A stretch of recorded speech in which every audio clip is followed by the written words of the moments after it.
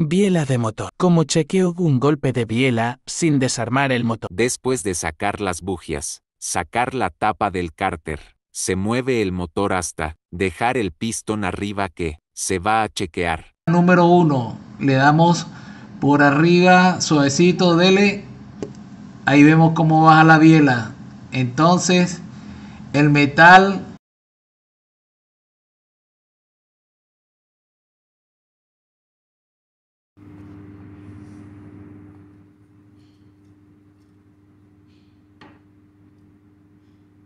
se vio. Vuelvo a dar. Ya. Sí. Biela número uno. No, no le no le Aquí. Ahí está el juego que no debería tener la biela.